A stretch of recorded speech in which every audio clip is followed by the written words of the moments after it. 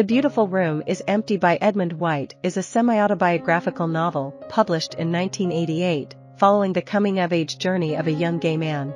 This book is the second installment in a trilogy, focusing on the protagonist's teenage and early adult years, encompassing the 1950s and 60s, leading up to the historical Stonewall riots in 1969.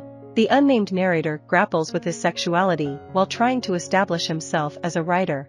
He finds himself entangled in a restrictive upper-middle-class preparatory school, which mirrors the broader societal norms that he feels alienated from.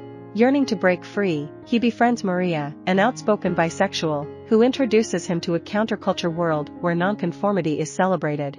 In this new environment, he encounters long-term homosexual couples, lesbians, and Tex, a bookshop owner who becomes his first intimate encounter with the gay community. Despite his attempt to suppress his desires, he engages in promiscuous sexual encounters.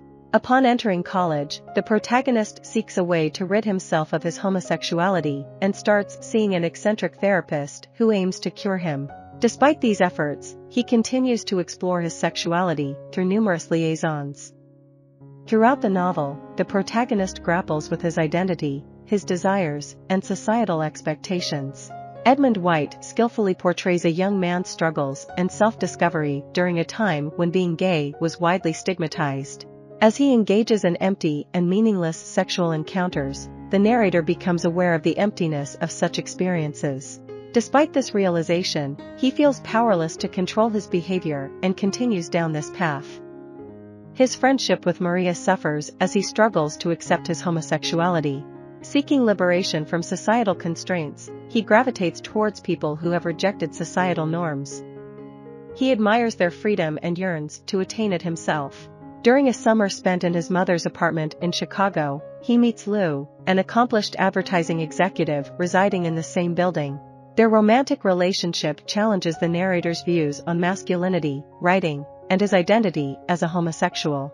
Initially resistant to Lou's influence, the narrator eventually embraces his guidance and comes to accept himself, acknowledging both his growth and Lou's imperfections. However, when his mother discovers his behavior while she was away, she criticizes him for not fully committing to his therapy and recovery. The narrator realizes that he does not truly desire the change his mother seeks, as he has already accepted and embraced his authentic self during the summer with Lou. In this poignant moment of self-awareness, the narrator understands that he no longer desires to be someone he is not, and he embraces his true identity without any pretense. Lou's decision to pursue a heterosexual marriage deeply wounds the narrator, leading him to stop therapy sessions abruptly. He finds solace in a new relationship with a man named Sean, but Sean's unresolved issues surrounding his own sexuality ultimately cause them to break up. This experience makes the narrator contemplate the idea of trying a heterosexual marriage. However, he reconsiders after learning of Lou's failed attempt at such a marriage. One fateful night, the narrator and Lou find themselves at a gay bar that gets raided by the police. As the bar's patrons refuse to accept further oppression, they fight back, standing up for their rights.